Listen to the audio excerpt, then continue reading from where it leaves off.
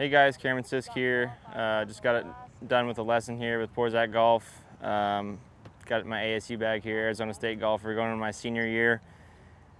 Uh, I'm just going to take you guys through a little what's in the bag.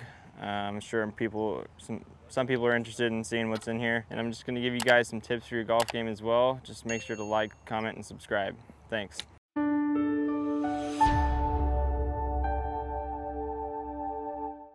All right guys, I'm gonna start with my wedges here. Um, so I got the TaylorMade milled grind wedges, 52, 56, and 60. Um, you know, I go through a set of wedges probably once every eight-ish months, uh, just from, you know, overuse. The grooves get a little worn. Um, so gotta keep fresh grooves on the wedges. Um, so for me, especially with my wedge play, um, I'm never really hitting full wedge shots. Um, I think that's huge. Uh, spin control is huge, especially when you're playing harder courses, faster greens, uh, with lots of slope. So to be a good wedge player, you have to have distance control and be able to flight your wedges, take yardage off, um, and that's something I'm pretty good at. Um, so you know, for me, I think the longer the ball is in the air, especially with wedges, I mean, the more things that can happen to it. So I, I, like, you know, in a way, I feel like I'm throwing darts. That's kind of a mentality that I have with my wedges. Um, so I have a five yard off swing and a 10 yard off swing.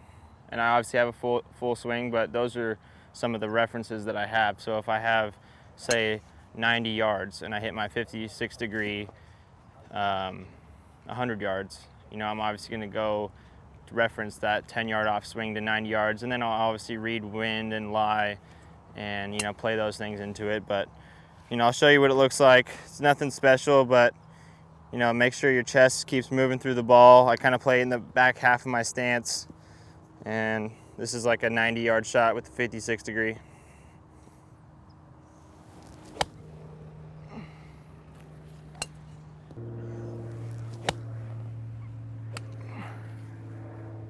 So my, my 60 degree goes about 91, 92 yards. That's obviously a full swing, which I'm usually not making. 56 goes about 105, 104, 52 goes about 118. Um, irons, so I've had the same set of irons um, for a while now. Uh, I've been through a couple sets of these, the P760s. Um, you know, I, have had a lot of success with them. I used to have the 770, 750 combo set, and this is obviously kind of the in-between. Um, but yeah, I've had a lot of success with these. Yeah, so I'm standard, standard loft, standard lie, standard length, um, six feet. Yeah, so it, I mean, a lot of that stuff could depend on your swing path, and, but um, you know, like you could be my height and have a steep swing and be two degrees up. So it's not all depending off how high you are, and you know, how low your hands and how high your hands are to address it. Everything plays into that. So it's not, you know, six feet auto, automatically um, standard lie. So, but yeah, I got the Z cord grips on all my clubs as well. I've had these for probably three or four years. I tend to have a little bit of sweaty hands, so these kind of keep it a little rougher. Yeah, I probably do my grips about once every four months, four or five months. Um, especially cord grips, they get dry really fast. So I have the NS Pro Nippon Modus 3 shafts. I think they're extra stiff.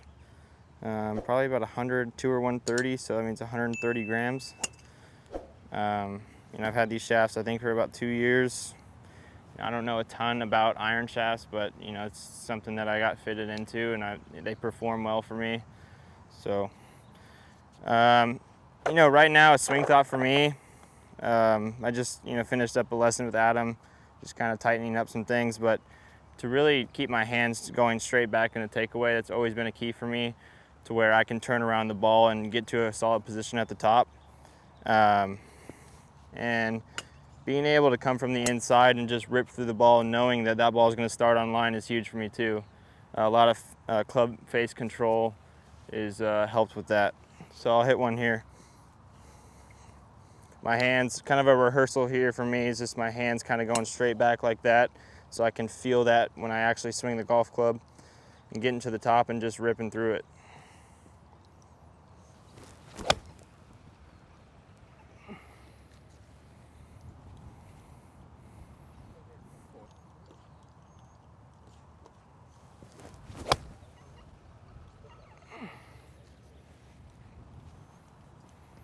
My lowest personal round is 59 at Steele Canyon.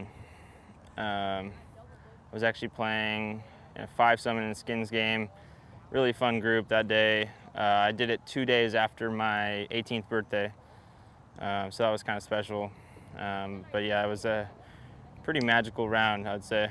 This was par 71, so it was 12 under. 12 under. Um, I shot 29 on the front, uh, which is a par 35, so I was six under on the front. And I didn't think at the time that I could. So I made the turn to the Ranch 9 at Steele Canyon, and I didn't think that I could do it after I parred one and two, which would be my 10th and 11th hole, because those are the two easier holes on that side. But I ended up birdieing three, four, which are two harder holes, and eagling five, par five. So at that time, I was 10 under with two more holes to play. Actually, you know, I think I shot five under the front, so I was nine under with four more holes to play. And I birdied um, my 15th hole and 17 and 18. So it was pretty cool. I hit it to a foot on 17, tapped in for bird, and then had to get up and down from over the green on 18 and you know hit my chip to about six inches and just tapped in so that was pretty stress-free 59 i'd say. Yeah i don't i don't really know. It was kind of it seems like i should have been nervous but you know since it was my home course and i just you know i played there a lot it it didn't seem i don't know everything just seemed really easy that day you know? And when when you're playing golf like that and it seems easy you really have to take advantage of it um, you can't protect like it's that's a, what, what good players do, um, especially on the PGA Tour. You'll see guys they're having good days. They don't slow down. They don't. They keep the foot on the gas and you know try to take it as deep as possible. I think I have two 65s. One at Mirabel when I won the Maui Jim in 2019. Uh, that's a course up in Scottsdale, and the week after, I shot 65 at Trinity Forest, where I finished third. Um, I, I, I might have a 64, but I think it's 65. I mean, really, when you have those rounds, you just have to putt well. I mean, uh, you know, a lot of guys are going to hit it well, especially in college, and then when you get on, um, you know, in professional golf, everyone's going to hit it well. I'm sure you're going to have days where you don't hit it well, but the guys that are on top of the leaderboard are making putts. Um, you know, that's, that's all there is to it. You know, you got to have your short game short game there to bail you out when you need it. Um, you know, you know, having a, a, good ball striking day, but you have to roll it. So what I have here is a Sim 2 hybrid. Um, I used to have a three iron in the bag, um, but I noticed um, I wasn't able to stop shots, especially like when you have a par five or something like that you know 240 yards and kind of a shallow green need something to stop fast. You kind of this club is really good for that because it, it, creates more spin and more height. And i can still hit the lower stinger shots like i do with the three iron but i also have that extra gear where i can get it actually 240ish yards 245 yards when i need to where the three iron i would kind of have to smash it really and then it would come in super hot and low and not be able to necessarily hold greens like i'd like to so this kind of is a, a, really good club. Um, I hit it off a lot of tees sometimes, um, but really for for second shots into par fives, and even you'll come across like a 230, 40 yard par three every now and then. Um, and this is just a really, um, really ideal club to have in the bag.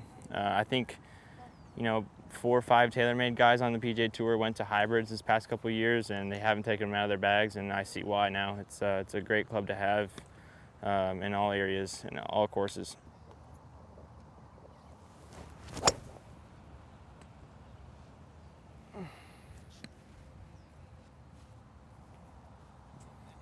About as solid as I could hit it there.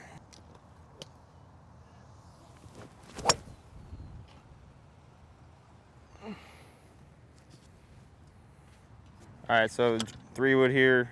Um, I have the same shafts in my three wood and driver, obviously different weighting, but it's the Tensei orange. Um, they're both tipped and extra stiff, which means there's a little bit shorter here to make the shaft a little bit stiffer, but they're a little lighter weight. So I got 70 grams in my three wood and 60 grams in my driver.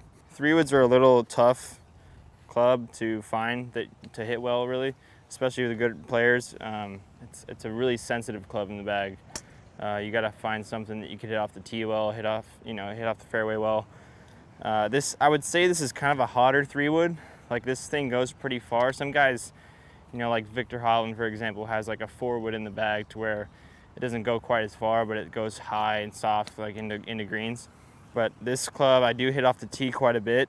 Um, sometimes I can even get this thing pretty close to my driver. So it's a hotter face, uh, a little bit less spin, but I've had a lot of success with it, and it's probably going to stay in the bag for a while because, like I said, it's hard to find really good three woods that you love, um, and this one does it for me.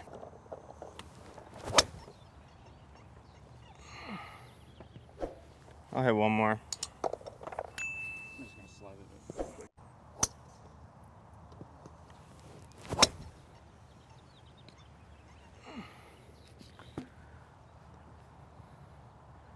Uh, last but not least, the driver.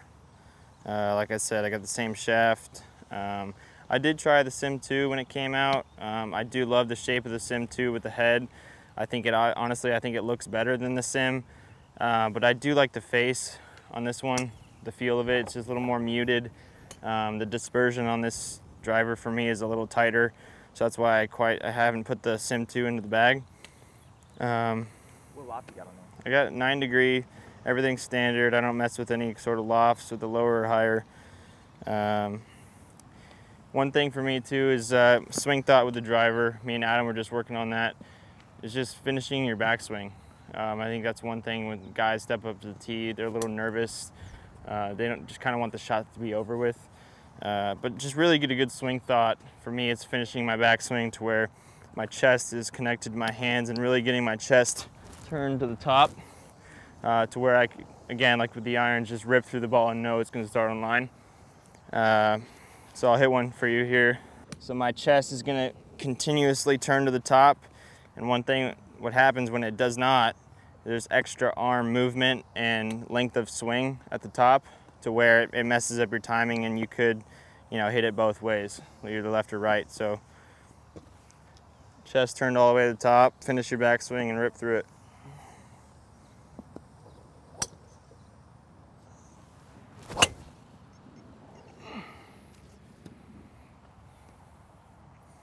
It's about as good as it gets. Yeah, I would say my, you know, I'm not the longest guy in the, in the world. Uh, I would say pretty average when it comes to college golf. Uh, I'd say it's swinging about 112, 13 consistently.